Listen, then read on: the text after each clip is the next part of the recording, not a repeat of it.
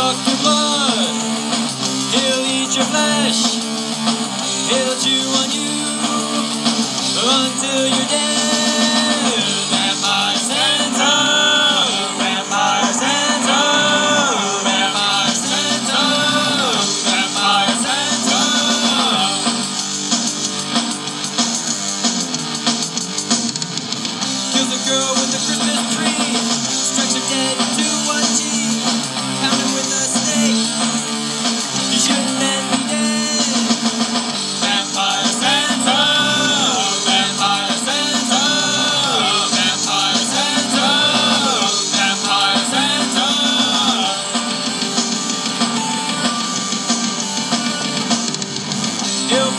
yeah.